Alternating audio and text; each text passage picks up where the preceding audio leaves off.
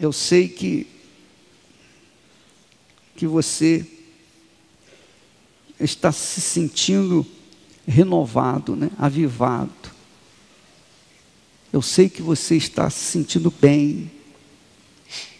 Eu sei que você, você está impactado por estar neste lugar. A beleza do santuário, tudo que você vê aqui, não é nada em relação ao Espírito de Deus que há no nosso meio. Portanto, não se impressione com a beleza do santuário, mas se impressione com a presença de Deus aí agora.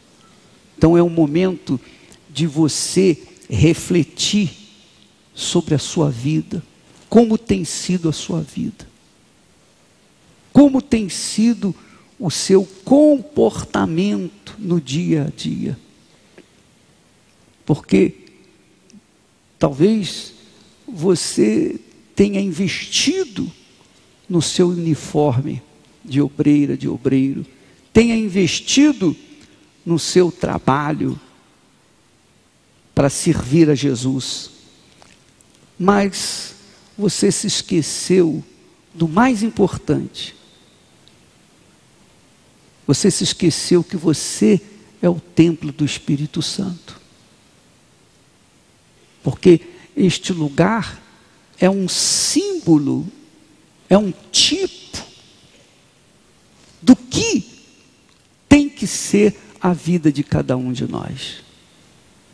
Assim como nós ficamos impressionados com a beleza do santuário, e essa beleza causa impacto aos nossos olhos, não é verdade?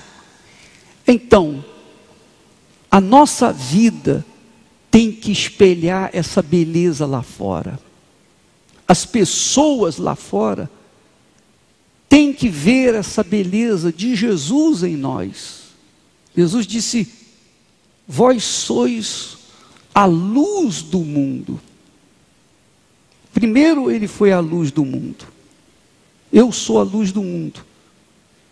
Mas depois que Ele nos elegeu e derramou o seu espírito em nós, então Ele nos fez a luz do mundo, de forma que as pessoas lá fora, a partir, a começar com os nossos entes queridos, tem que ver Jesus em nós, tem que ver essa beleza em nós. Tem que ver a beleza do santuário em você, a partir da sua própria casa. Isso tem que acontecer. Tem que acontecer. Porque se isso não acontecer, todo o trabalho que nós executamos terá sido em vão.